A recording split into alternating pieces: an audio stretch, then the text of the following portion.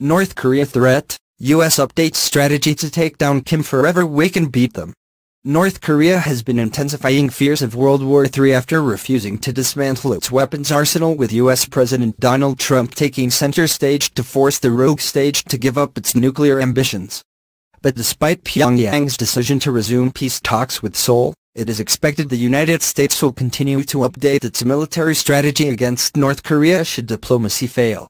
Security Studies Group SSG President Jim Hanson said, the U.S. has always been planning to take North Korea down forever. What we are doing is updating them and making sure they're as optimal as possible.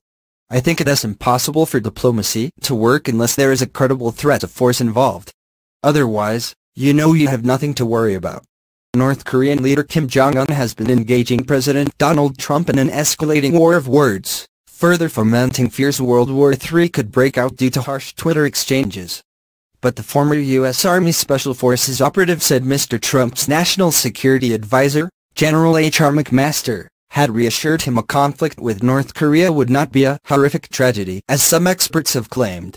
Speaking to Fox News, Mr. Hanson continued, General McMaster said to me directly he doesn't like when people think if there was a war between the US and North Korea there is any doubt about the outcome or that it would be some horrific tragedy.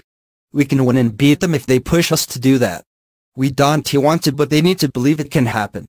Mr. Hanson's analysis appears to be reinforced by reports claiming North Korea accidentally bombed its own city with a devastating missile.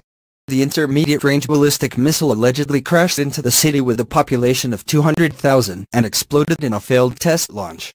The first stage engine reportedly failed one minute into its flight after the rocket had traveled 24 miles sending it tumbling into an area of industrial buildings causing massive damage.